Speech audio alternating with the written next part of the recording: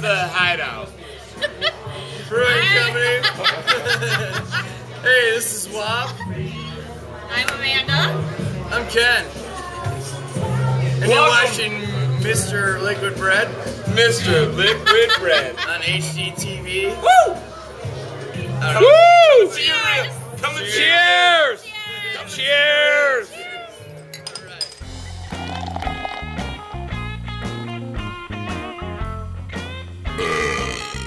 Whoa, may the swords be with you, my fellow Jedi. Uh, maybe not. There's a reach. Anyways, tonight, guys, we're uh, doing a beer. It's a Swartz beer. I'm pronouncing that. I'm probably butchering the hell out of that. But it's called a, s- a Swartz. I just spit all over the place. A Swartz beer.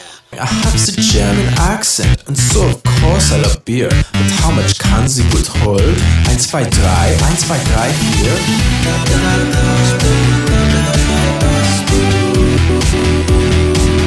Das Boot. It's basically a black lager, German black lager. I guess you could think of it as just like that. Just think of um, a typical lager beer that's instead of light and golden, black. I'm black, y'all, and I'm black, y'all, and I'm blacker than black, and I'm black, y'all, and I'm black, y'all, and I'm black, y'all, and I'm blacker than black, and I'm black, y'all. I'm blickety black, blacker than black, black, I'm blacker than black, yo, because I'm black and I'm black. So Schwartz beers are basically a lager yeast, which is a, it's a yeast that tends to to ferment lighter beers, like obviously like lagers, duh.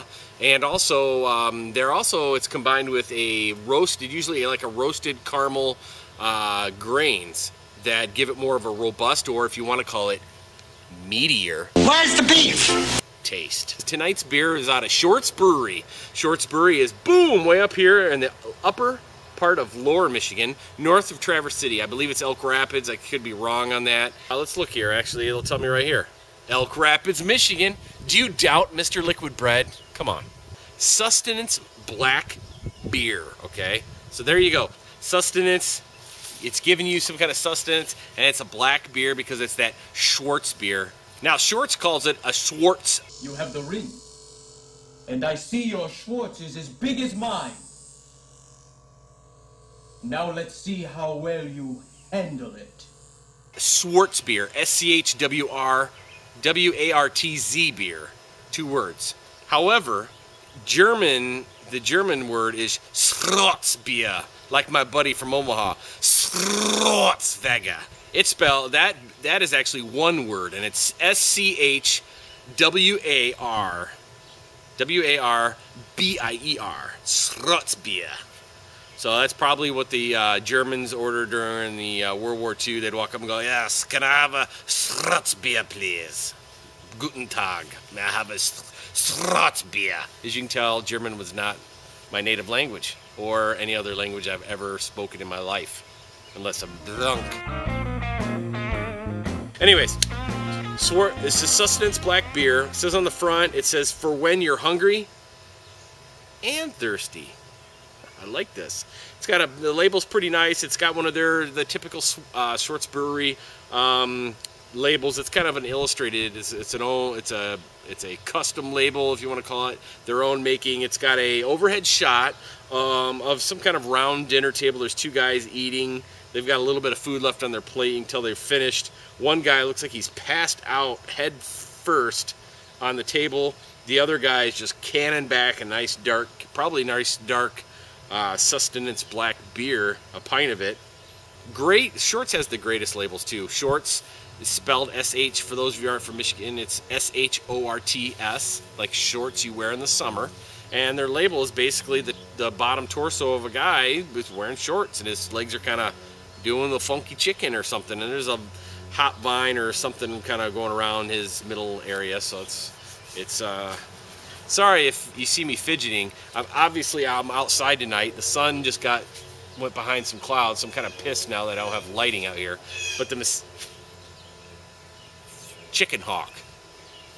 Anyways, the mosquitoes are biting the hell out of my legs tonight, so I'm sorry if I'm fidgeting a little bit. But anyways, let's get to the beer. Let's get this puppy down because I'm I'm, I like this beer. This is good beer. I've had this before, so let's let's get to the beer.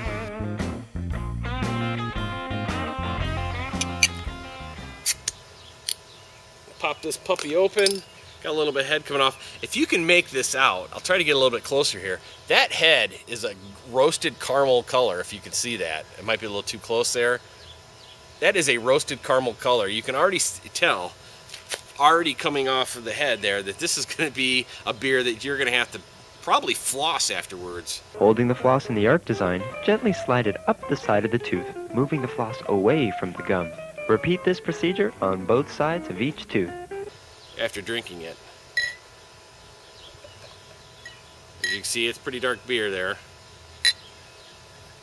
I'm going to reveal something here in a second after I taste this, though, because I know what to expect with this beer. For those of you already saying, oh, I can't drink this beer, this is a great beer for the spring. And I suppose in the fall as well. The fall would be a good time for it as well. Let's take a little sniff first.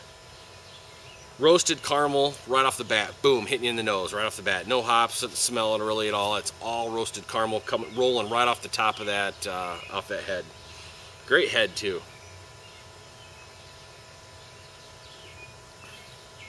Nice. And this is what I'm talking about. If you could imagine a lager beer, the lightness of a lager beer, with the roasted caramel maltness, the maltiness, the meat. Where's the beef?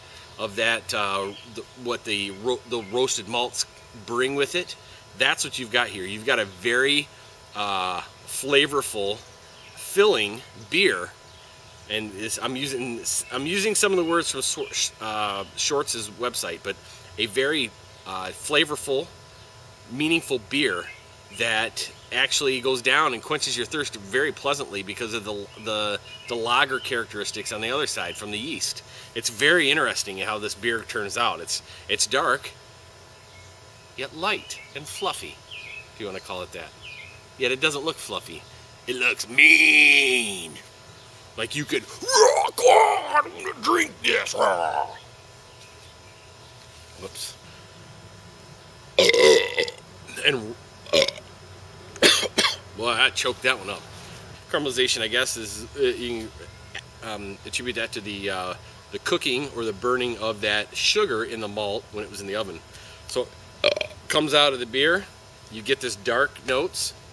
You throw in some sugar, you throw in some yeast, you throw in a little bit of hops for uh, for some bittering agents and some uh, preservatives, and what do you got? B double E R, beer. I don't know why I'm still sipping this. Let's go top to bottom and finish this puppy. Cheers. Salute.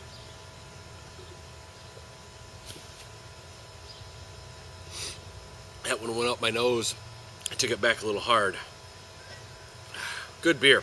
All right, so overall, this is the Shorts Brewing Company's uh, Sustenance Black Beer, or Shorts Beer.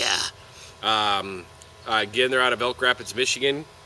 Great label as as usual with with shorts. Um, good good illustration. Great cap. Awesome. You know, it's a great beer. Check it out. Get out to uh, your uh, if you're in Michigan. You probably I don't know how much Shorts is distributing. Get in Michigan and grab yourself some beer from Shorts. Great brewery. Remember, Dogfish Head equals Shorts. Enough said. Later. Yeah!